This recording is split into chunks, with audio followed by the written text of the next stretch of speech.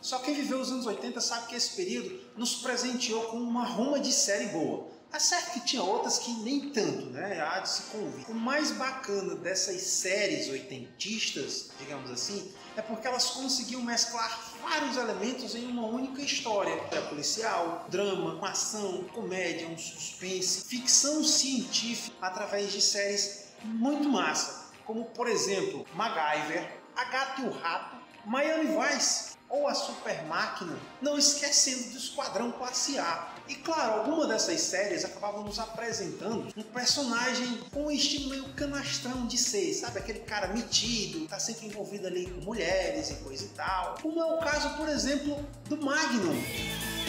Nada vai te impedir de desfrutar do novo Magnum Infinity, nosso chocolate em sua forma mais deliciosa. Não! É esse Magno aí não, pera aí, tira esse Magno daí. É esse Magno aqui.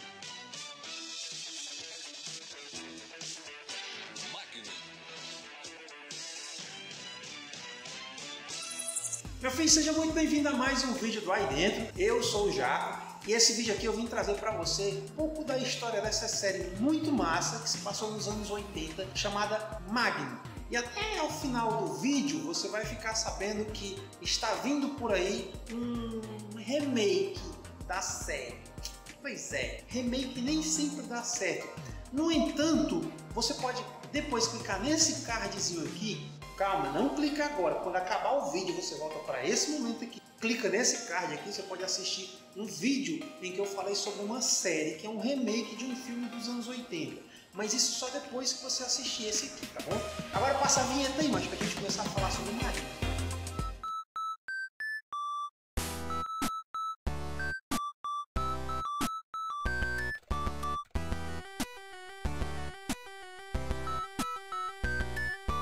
Com o final da série Havaí 5.0, a CBS ela precisava criar uma outra série para ocupar não só o horário deixado por ela, com uma nova história, além de, claro, reutilizar as locações, cenários e todo o equipamento que foi criado para ela. A ideia inicial da CBS era utilizar a fama de Jack Lord para esse novo papel. Para você que não sabe, Jack Lord ele era o Steve McGarrett de Havaí 5.0. Com isso surgiu em 1980 a ideia da série Magnum, que foi escrita por Glenn A. Larson, que desenvolveu um roteiro para Jack Lord de um detetive particular que vivia no Havaí, mas que era um detetive meio mulherengo, que andava em carros esportivos.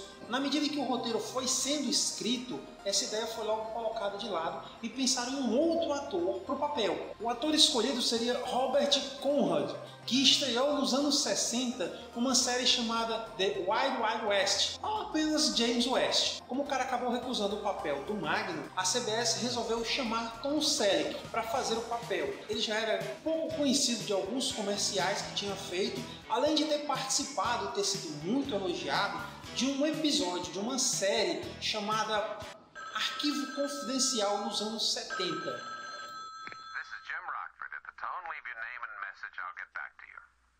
Jimmy, Angel, here's a tip, but his handwriting's bad. Third son in the fifth race at Bell Meadows. Wait a minute, could be fifth son in the third. Wait, this might be next week's race. Mas se você acha que o cara aceitou fazer o papel do Magno assim logo de primeira, negado total.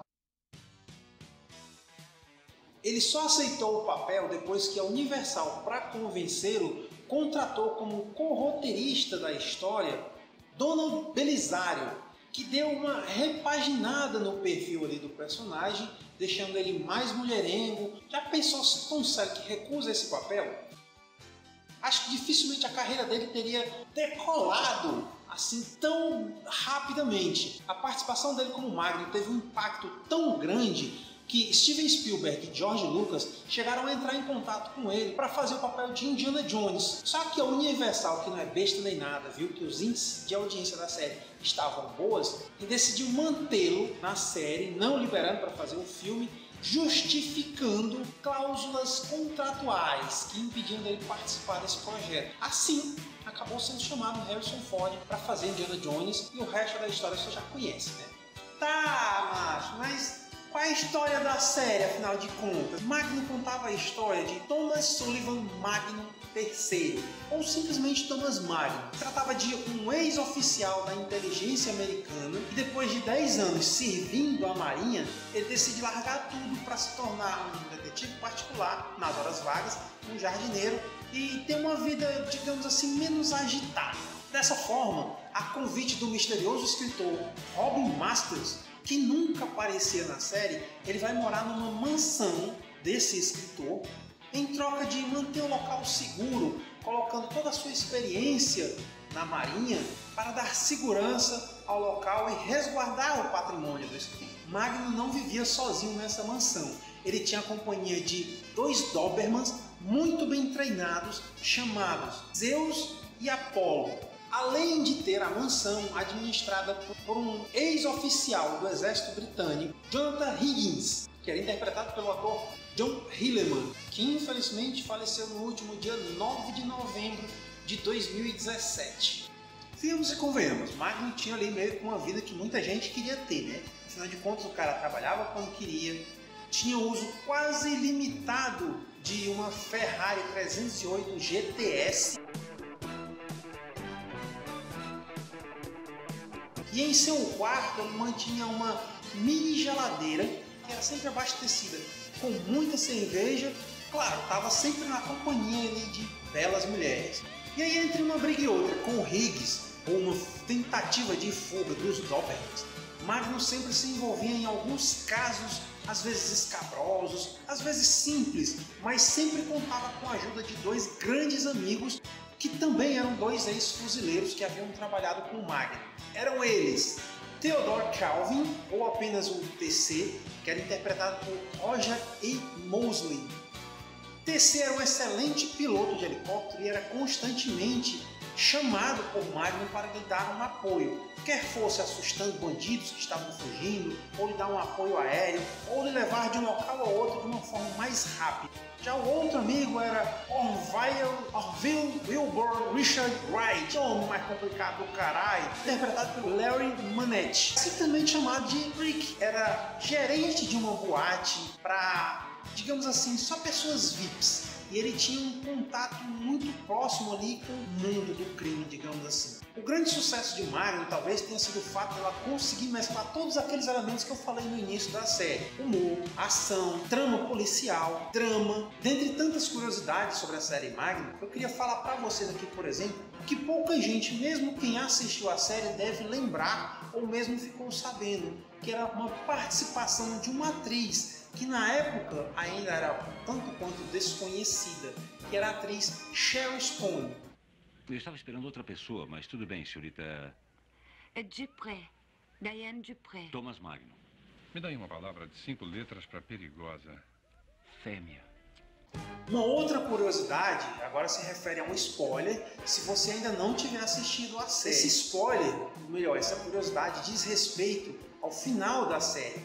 Na sétima temporada, com os níveis de audiência baixos, os roteiristas decidiram dar um fim à série. Ou seja, já que ela ia acabar, então vamos terminar de um jeito assim bem louco. E aí a ideia mais absurda que eles tiveram foi de matar o personagem principal, ou seja, matar o Magno. Só que para surpresa de todo mundo, principalmente da CBS, os níveis subiram muito com esse último episódio, e a CBS teve que encomendar mais uma temporada ou seja, ela foi renovada para a oitava e aí os roteiristas se lascaram. Né? Como é que o cara tinha morrido na sétima temporada e ia voltar agora na série? Aí outra coisa absurda que eles tiveram que fazer foi já no primeiro episódio da oitava temporada, eles acabaram é, querendo justificar que o que tinha acontecido no final da sétima, na verdade se tratava ali meio que, que um sonho do Mario, ou seja, não tinha sido nada real. Foi uma bela sacada, assim, pegou os fãs de surpresa quando matou o personagem mas aí, logo em seguida, no ano seguinte, né? Eles disseram que não, pessoal, era tudo mentira, a gente tava só pescando com a cara de vocês, e tava só sonhando. Ou povo sem futuro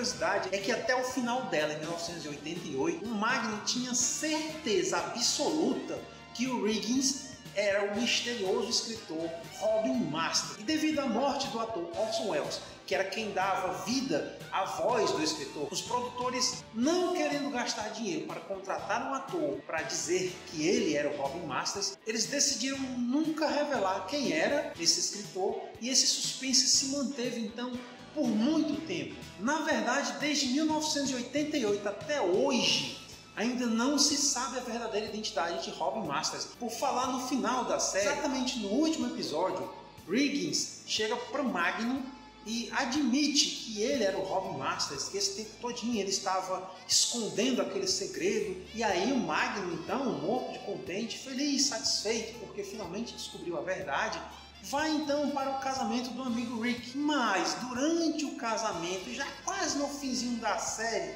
do episódio, Riggins chama o Magnum e diz assim: Magnum, lembra aquilo que eu falei sobre o Robin Masters? Eu menti. Magnum teve seu primeiro episódio exibido no dia 11 de dezembro de 1980. Teve um total de 162 episódios, distribuídos em oito temporadas, e o seu último episódio foi ao ar no dia 1 de maio de 1988. Aqui no Brasil ele foi distribuído pela MCA com versão dublada pela saudosa Herbert Richard. Versão brasileira, Herbert Richards. Sendo que em 2 de dezembro de 1981, Magno foi apresentado no especial de final de ano da Rede Globo como uma das novas atrações, passando a ocupar o horário nobre das segundas-feiras à noite. Porém, depois de vários episódios repetidos, foi somente em 1985 que a Rede Globo passou episódios inéditos, mudando também o dia e horário em que o Magno passava. Ele passou de segunda para terça, numa atração que na época era chamada de Terça Nobre. Uma nota triste sobre a passagem do Magno pelo Brasil diz respeito à dublagem. Como a Rede Globo não passou a série toda, a última temporada, quando exibida pela TNT aqui no Brasil, não teve dublagem. Ela foi passada com áudio em inglês e legendada. Mas ainda falando sobre a dublagem, é bacana a gente citar aqui quem eram os dubladores do Magno, Tom Selleck, por exemplo, ficou nas mãos, não, quer dizer, na voz de Francisco Milani, muito conhecido aqui pela gente como Pedro Pedreira, da escola do professor Raimundo. Os outros personagens, como o Riggins, ficou a cargo de Darcy Pedrosa, já o TC era dublado por Márcio Seixas e Rick foi dublado por Francisco Turelli. Depois de vários anos do final da série, vários boatos surgiam de que a série ia voltar, de que iria ser produzido um filme e que em janeiro de 2006 um roteiro estava sendo escrito, só que isso nunca foi confirmado. E no ano seguinte, em 2007, um outro boato de que estaria sendo produzido um filme em que teria Matthew McConaughey como Magno, só que a gente já está em 2018 e até agora não, nada. Lembra que eu falei lá no começo do filme que eu ia te falar que estava vindo um remake por aí da série? Pois é. Pois é, tá vindo um remake.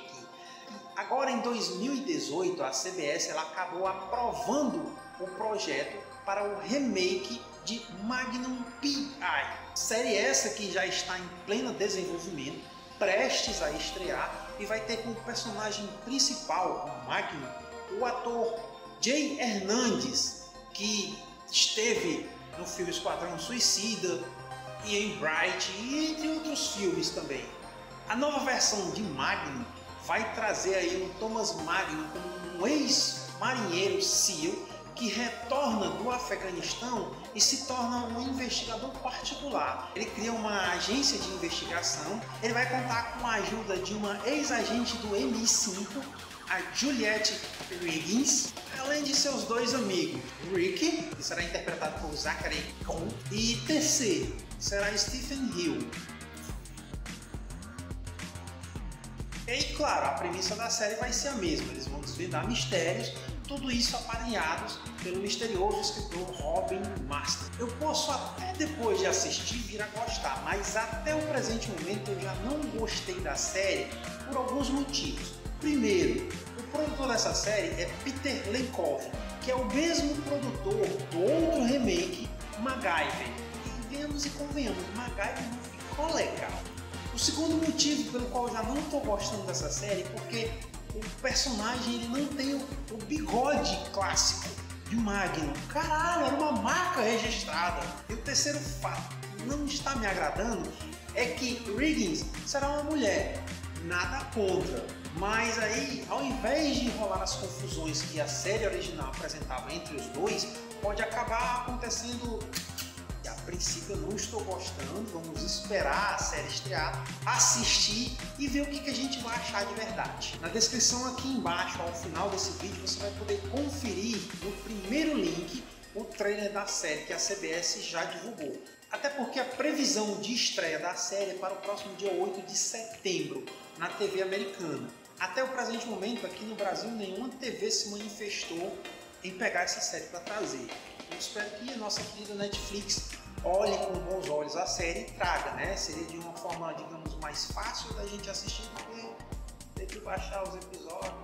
Então, meu filho, o que, é que você achou aí dessa série? Ficou curioso para assistir? Eu lhe aconselho, corre atrás, procura assistir porque ela é muito bacana.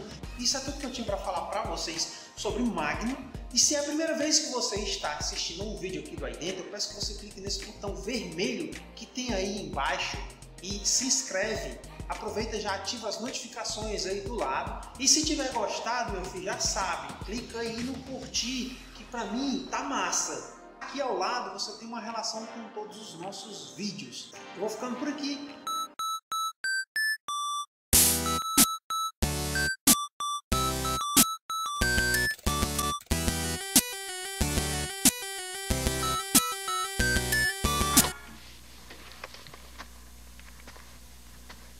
Night.